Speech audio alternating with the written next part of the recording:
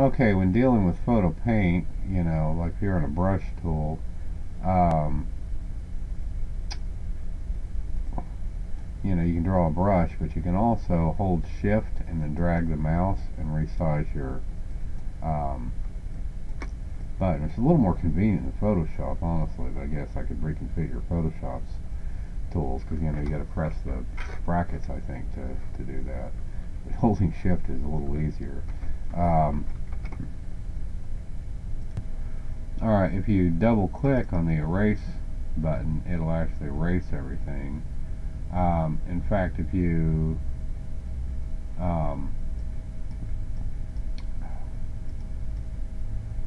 you know, have an object like that and you double click on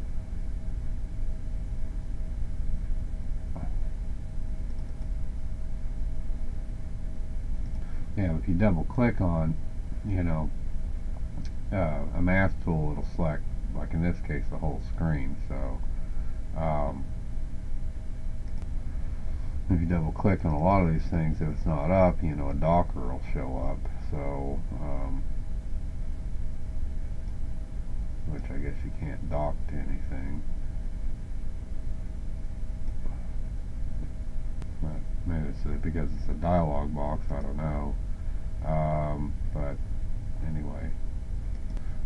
but you know, you do have you know docked over here. Um, you know, brush settings bar, which could be interesting because you know you can. Um, what that's supposed to do, but um, okay, there we go. But you can change things too, like saturation range, you know, and make it so the colors vary um, over here. So there's a lot more options you have here, um, you know, as you can see, than you do up here. I mean, this is very limited in what you have, but, you know, um, this also allows you to certainly resize it and um,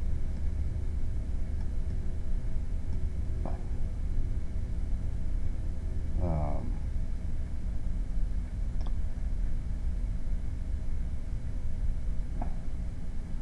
how fast you want these parameters to vary. It's the speed. So, um,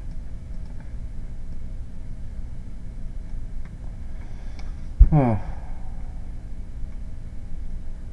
you get the picture, right? So, it's got some pretty cool stuff you can do with it. and just like in photo Photoshop, you know, the brush can be, you know, set to fade out at a certain point. Uh, I don't think this affects that, but uh,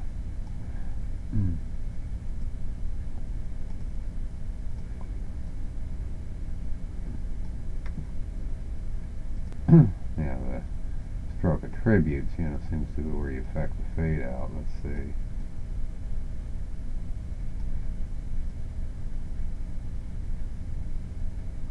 That goes a lot longer without fading out now. So um, if you adjust the fade out down to zero, it probably, you know, not fade out at all.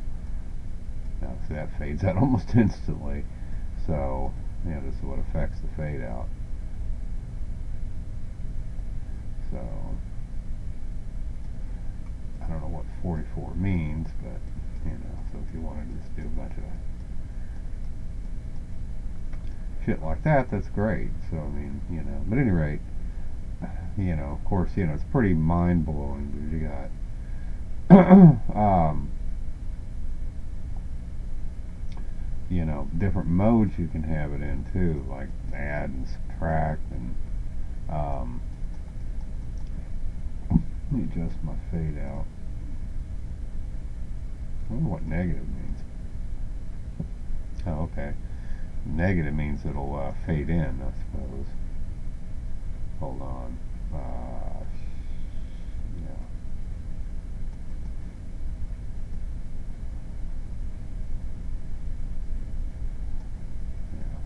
Yeah. Let's say negative.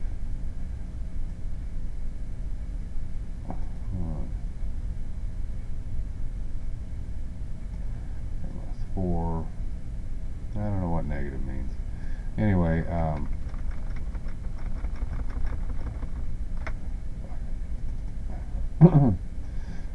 but anyway, but anyway, yeah, it's um, you know, like I said, when you consider just all the different fucking modes you can have, you know, and these brushes, oh my god, and then the fact that you got so many different kinds of markers on top of that, you know, I mean, it's just, you know, rather unbelievable. And again, you know, it's really as potent as what you get in in Photoshop, you know, because I mean, when you talk about the combinations of brushes and just all the different shit you can do, and again, you're not limited to grayscale brushes like Photoshop seems to be. I mean, the, the brushes seem to always be just one color, but here, you know, you can do multiple colors. But then, you know, you got all this fucking, these other attributes, um, you know, like that, and then of course, you know, you can do like color variation on those, I assume, too. So, you know, orbits, um,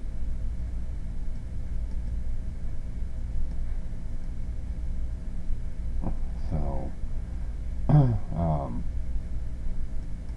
you know, hue speed, let's increase that, so, you know, that's what I'm saying, there's, there's so many, um, variations, you know, number of things you could do. I can imagine you could change the size of it too. Again, you know, it's it's got a pretty powerful set of capabilities, and it's just, you know, then you got all these different nib shapes on top of that. I mean, um, you know, for all these brushes, it's just, it's it's the permutations are just uh, mind blowing. Okay, when drawing with these tools, you know, you can hit control to constrain in a given direction. So, like, you know, constraining the x-axis. Mm. so, that's pretty cool.